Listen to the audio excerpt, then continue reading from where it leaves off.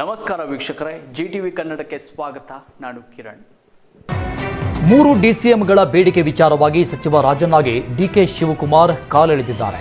ಬೆಂಗಳೂರಲ್ಲಿ ಮಾತನಾಡಿದ ಡಿಕೆಶಿ ಪ್ರತಿಯೊಬ್ಬರಿಗೂ ಆಸೆ ಇರುತ್ತೆ. ನನ್ನ ಡಿಸಿಎಂ ಮಾಡಿದ್ದು ಸಿಎಂ ಸಿದ್ದರಾಮಯ್ಯ. ನಮಗೆ ಹೈಕಮಾಂಡ್ ಇದೆ. ಆಸೆ ಪಡೋರಿಗೆ ಉತ್ತರ ಕೊಡೋರಿದ್ದಾರೆ. ನಾನು ಉತ್ತರ ಕೊಡಲ್ಲ ಅಂತ ಹೇಳಿದ್ದಾರೆ. ಮೂರು ಡಿಸಿಎಂ ಹುದ್ದೆ ಅವಶ್ಯಕತೆ ಇಲ್ಲ ಎಂದ ಸಚಿವ ಶಿವಾನಂದ ಪಾಟೀಲ್ ವಿರೋಧ ವ್ಯಕ್ತಪಡಿಸಿದ್ದಾರೆ. ವಿಜಯಪುರದಲ್ಲಿ ಮಾತನಾಡಿದ ಸಚಿವ ಶಿವಾನಂದ ಪಾಟೀಲ್, ಸಿಎಂ, ಡಿಸಿಎಂ ಇಬ್ಬರೂ ಸಮರ್ಥರಿದ್ದಾರೆ. ಅವಶ್ಯಕತೆಗೆ ಅನುಗುಣವಾಗಿ ಹೈಕಮಾಂಡ್ ನಿರ್ಣಯ ಮಾಡಿದೆ. ಈಗ ಮೂರು ಡಿಸಿಎಂ ಹುದ್ದೆ ಸೃಷ್ಟಿಸುವ ಅಗತ್ಯವೇನಿದೆ? ಡಿಸಿಎಂ ಮಾಡದೇ ಇದ್ದರೆ ಸಾಮಾಜಿಕ ನ್ಯಾಯ ಸಿಗೋದಿಲ್ಲವೇ ಅಂತ ಪ್ರಶ್ನೆ ಮಾಡಿದ್ದಾರೆ.